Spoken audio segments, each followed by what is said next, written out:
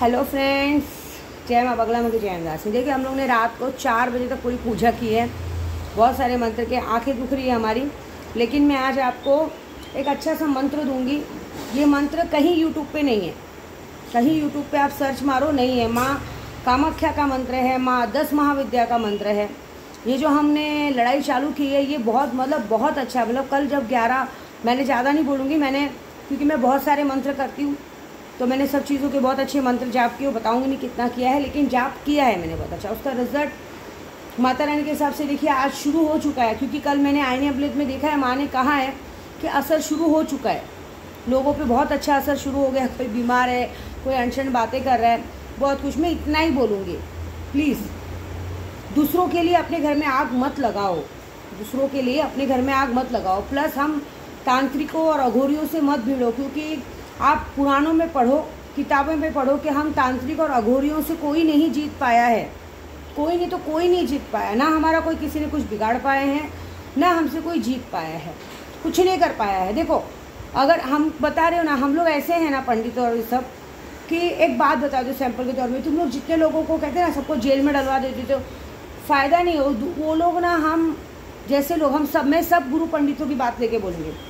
हम जैसे लोगों अगर आप जेल में भी डलवा दोगे तो हमारे हाथों में मंत्रों की शक्ति है। मुँह तो जवान तो नहीं काटोगे ना?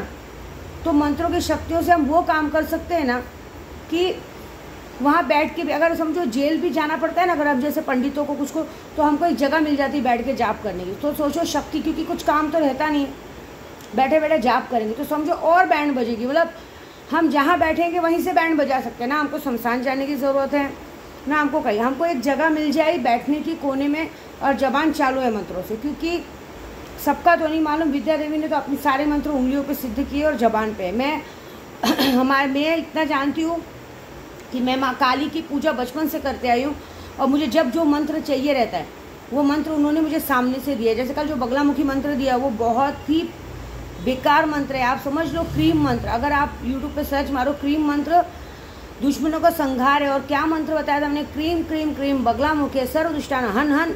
स्वाहा। हन हन मतलब मालूम है, जैसे कसाई बकरे को काटता है ना, cut cut cut cut cut cut. वैसे हन हन हन हन हन।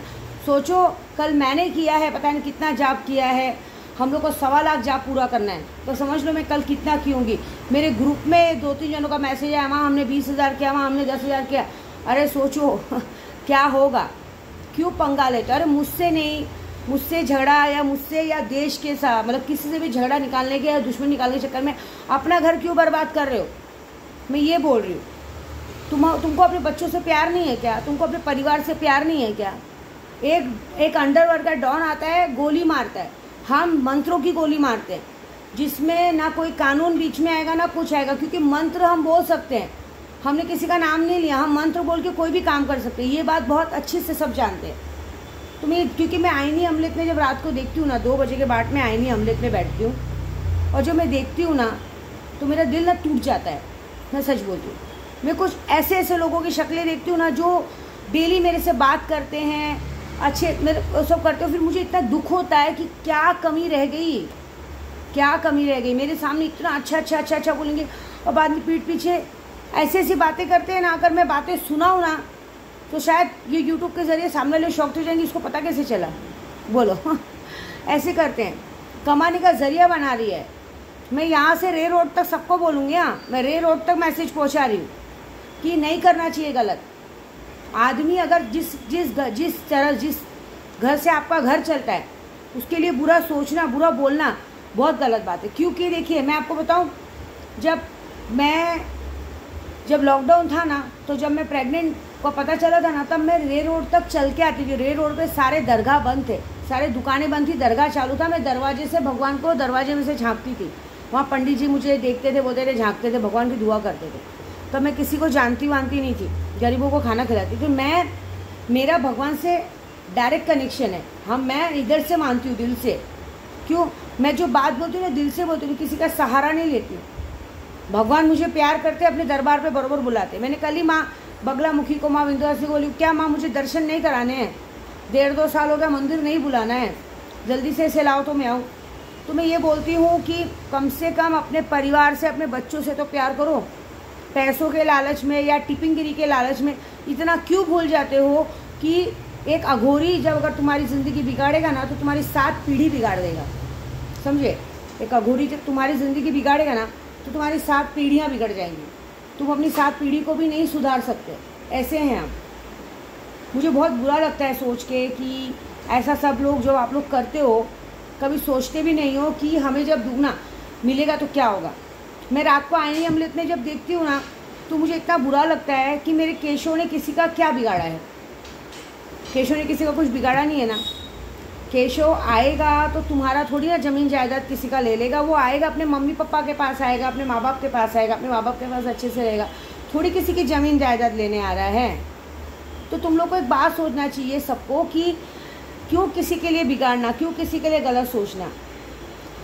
बच्चे बहुत मुश्किल से होते हैं। एक माँ नौ महीने पेट में रखती है ना तो उसका दिल जानता है कि वो क्या क्या कष्ट सहती है। और जब उसका बच्चे को कोई लेता है ना तो बहुत बुरा लगता है। ऐसे मालूम है मैं कभी भी बदुआ देती हूँ तो बच्चों के लिए नहीं देती हूँ, क्योंकि मैं जानती हूँ बच्चों का दर्द क्या होता है। तो प्लीज़ बच्चों के पीछे मत पड़ो। मेरे को कल जब मैं रात को दो बजे बाद आईनी अमलियत में बैठ के पूजा कर रही थी ना तो जब ऐसे ऐसे किस, मैं किसी का नाम लूँगी भी नहीं, मैं बस ऐसे ऐसे लोगों की शक्लें देख रही थी ना तो मेरा दिल टूट जा रहा था। मतलब डेली वेयर जो मुझसे बात करते हैं, मेरे साथ खाते बैठते मतलब मेरे साथ बैठ के बातें करते हैं डेली वेयर लोगों की शक्लें दिख रही थी और वो लोग ऐसी ऐसी बातें कर रहे थी कि मेरे को समझ में नहीं आ रहा था कि मेरे साथ फ़ोन पे इतनी अच्छी बातें हो रही हैं और मेरे लिए मेरी पीठ पीछे ऐसी बातें हो रही हैं। ऐसा हो रहा है। तो जाने दीजिए, ऊपर वाला है, देखेगा मुझे किसी से कोई मतलब नहीं। लेकिन हाँ ये है कि मैं इतना ही बोलूँगी अघोरियों से पंगा लेना तुम्हारी सात पीढ़ी बिगड़ जाएगी, क्योंकि हमारा कुछ नहीं बिगड़ेगा। हम तो जहाँ भी रहेंगे, वहीं शान से बैठ रहे हम लोग को तो कहते हैं जंगल में भी बैठा तो हमको माला जपने का टाइम चाहिए। हम वहाँ बैठे बैठे माला जप लेंगे। हम लोग जन्म जात के नंगे इंसान हैं। हम लोग किसी से शर्माते नहीं हैं। दूसरी बात, अब ये माँ मीनाक्षी का जो मंत्र है, वो भी मैं देती हूँ आपको। ये मंत्र इतना अच्छा है, कहते हैं ये जो जिनकी शादी नहीं होती, उनके लिए बहुत अच्छा है। शादी के लिए रिश्ते बहुत अच्छे आते हैं। और इससे एक बहुत मतलब इतना अच्छा फल मिलता है, ये साउथ में है इनका मंदिर। मैंने कल पूरा यूट्यूब पे सर्च मारा था, मुझे मंत्र नहीं मिला, मैं बहुत परेशान हो गई थी। जब मैं माँ बगलामुखी का मंत्र करने लगी तो वो साक्षात काली का रूप लेकर कि उन्होंने जो मंत्र दिया मुझे, वो मंत्र उन्होंने किसी के पास नहीं, और बहुत अच्छा मंत्र दिया। वो मंत्र एक्टिव है। ये मंत्र अगर जिसने सवा लाख जब कर लिया, उनको माँ मीनाक्षी माँ सामने से दर्शन देंगे। मुझे तो ऐसे ही दर्शन दे दिए कल, क्योंकि मैं बचपन से काली माँ की पुजारी हूँ। तो वो सामने से दर्शन दे देंगे और साधक की हर वो इच्छा पूरी करेंगी जो चाहता है। कहते हैं ना, धन, दौलत संतान, हर तरह से सुख देंगे। मैंने तो बस इतना ही मनाया माँ से कि माँ मेरे केशों को अच्छे से ला दो, बस, मुझे कुछ नहीं चाहिए। मेरे बच्चों को मेरे पेट से लेके मेरी गोदी में रख दो। इतना ही कर दो, इतना एहसान कर दो। तो उसके लिए पूजा चालू की तो आप लोग को भी मंत्र बताती हूँ।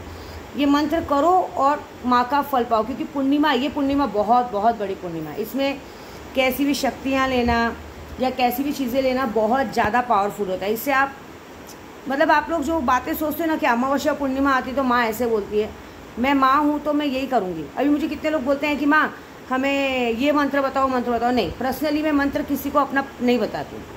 तो भी आप ये मंत्र देखिए माँ मीनाक्षी माँ का मंत्र कभी भी कर सकते हैं आप दिन भर में। जितना ज़्यादा करें अच्छा है। माँ का स्वरूप मन में रखिए क्योंकि माँ बहुत सुंदर है विश्व सुंदरी है वो। एक कमल के फूल पे विराजमान है इतनी सुंदर है। माँ पा, पार्वती का रूप है वो। इतनी सुंदर है कि उनका रूप देखना ही, आँख भर के देखना ही हमारे बहुत वो हो जाता है। तो हम उन्हें यही मनाते हैं, माँ, अपने बराबर तो हमारी औकात नहीं, लेकिन आपके पैर के नाखून के बराबर हमें ज़रूर सुंदर करना। दूसरा, हमारे बच्चे को अच्छे से रखना। हमारे कीड़े हमें ही देना, हमारे बच्चों तक मत ले जाना। हमारी गलती की सज़ा हमें ही देना। और हमारे साथ जो भी जुड़े हैं, उन सबकी सारी मनोकामना पूर्ण करना। ये पूरा कर कहते हैं ना, माँ मीनाक्षी हर तरह की मनोकामना पूर्ण करती है।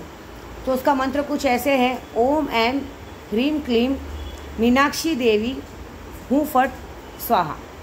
ओम एम ह्रीम क्लीम मीनाक्षी देवी हूँ फट स्वाहा। ये मंत्र करके देखिए, ज़्यादा नहीं, दस हज़ार भी मंत्र कीजिए, देखिए रात को आपको सपने में माँ आती है कि नहीं आती है। नहीं आएँगे तो फिर मुझे बोलिएगा कि विद्या माँ ने क्या बोला था? क्योंकि ये मंत्र माँ ने खुद दिया है। ये मंत्र आना आपको यूट्यूब पे मिलेगा, ना किसी बुक में मिलेगा, कहीं नहीं मिलेगा, क्योंकि जो मंत्र मैं बताती हूँ, मुझे माँ ही आके देती हैं। अब ये बात तो बहुत सारे लोगों को मज़ाक लगेगा, लेकिन मैं कुछ कर नहीं सकती। मुझे देती है माँ मंत्र, मैं बताती हूँ। अब आपका काम है फॉलो करना, नहीं करना, आपकी मर्ज़ी। जय माता दी।